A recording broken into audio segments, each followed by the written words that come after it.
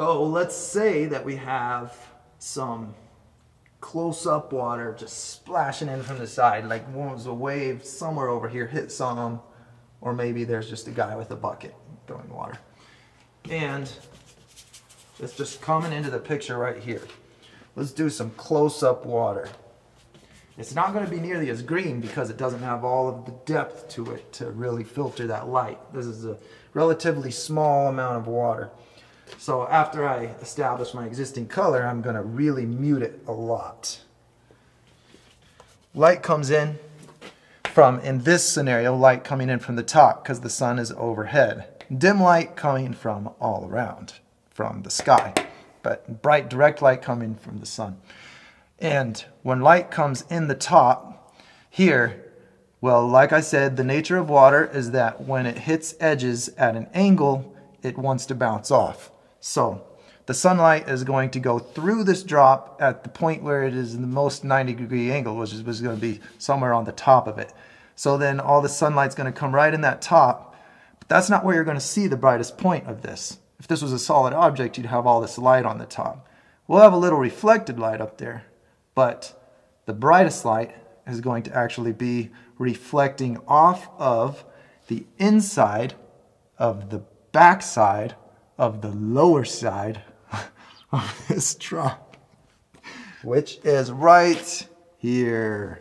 Okay, from a side view, you know, from a side view, if this is the bubble, you know, the light comes in, it, it, if you're looking at it this, like say this is the side of the bubble, you're looking at it this way, well this angle right here is where the light's gonna bounce and be able to exit straight towards your eyes. So the result is that drops have a dark outline around the edge because that edge is not allowing light to get to your eyes.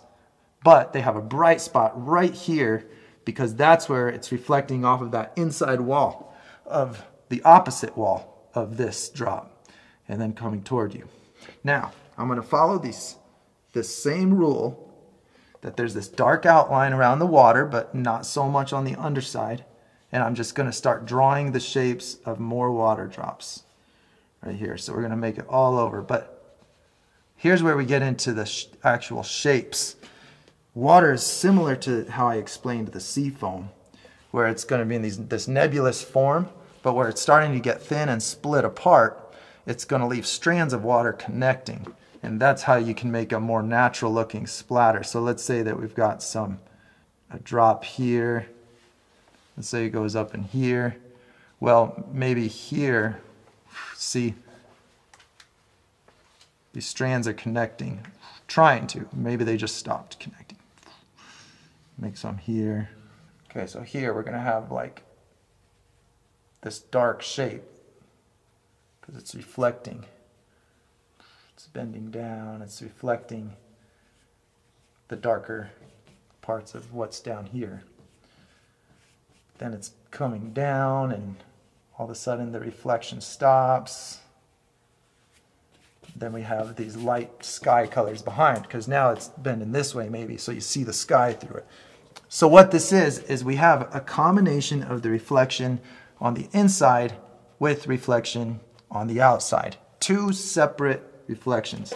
On the inside, it's reflecting images. This side is reflecting images over here. This side is reflecting images over here including the inside of itself. But this green color is because of maybe the green ocean or maybe what's on the ground, just a darker color. But now on the very, very edge, I need to put a little bit more of the same reflection I put on the rest of the water here. So you see, I'll just put a little bit of this right on that very edge where it's wrapping away. You know, and you might even have one of these little one of these little starry guys.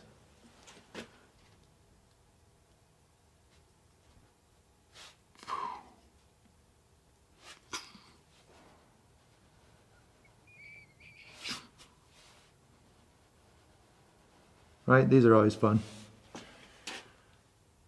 Ridiculous. Okay.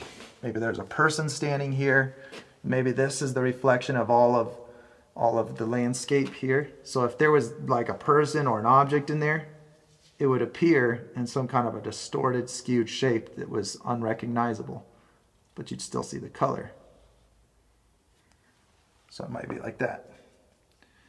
When you see those hard edges and lines within moving water, they're just skewed reflections of an object. See, I love that blue on there. That blue just gives it that little bit of extra, little bit of extra realism there.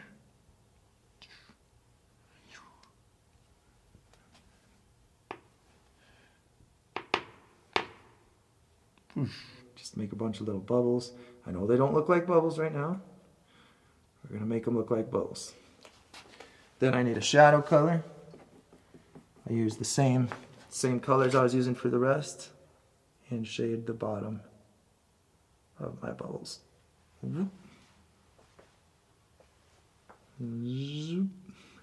Shading the bottom side instead of the top side. But the bubbles tend to be less extreme in contrast when you're looking at the whole picture. Take the white, make all my little highlights at the top of each of my dark spots.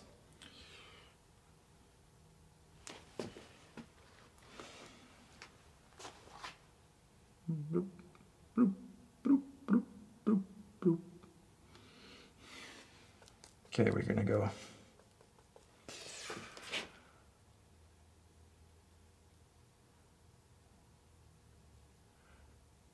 right? Because this always happens.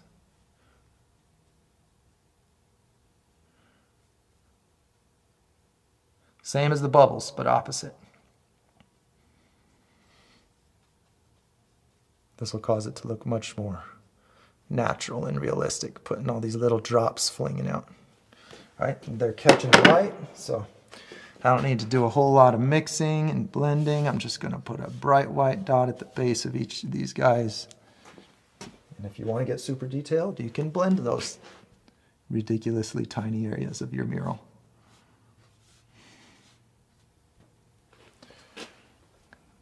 little water drops. Boom, boom.